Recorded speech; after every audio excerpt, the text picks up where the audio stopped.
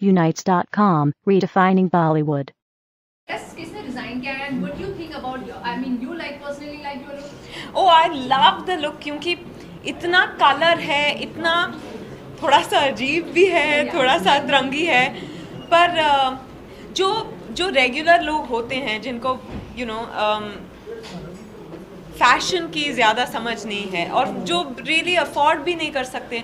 जो नीतू उस तरह की औरत है जो मॉल्स में मॉल्स में भी जाती है तो कहती है, बड़ा महँगा है, मैं तो अपने दर्जी से सिला लूँगी। तो दर्जी को जाके वो मामूली कपड़ा दे देती है और इस तरह के कपड़े निकलते हैं।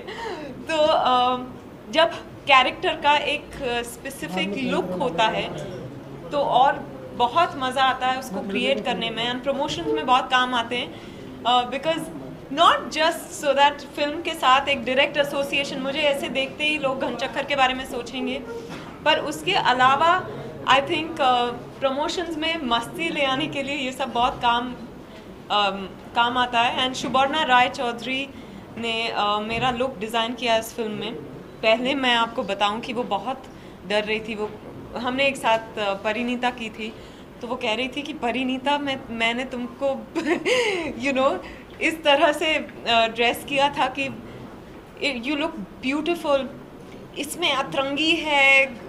क्या क्या होगा क्या होगा? तो फिर मैंने उनसे कहा देखिए you're not dressing Vidya, you're dressing Neetu तो अब ये सोचना बंद कर दो। Then I think we all began to have fun पर it's Rajkumar baby Rajkumar Gupta's baby मैं यहाँ घनचक्कर की नीतू बन के आई हूँ।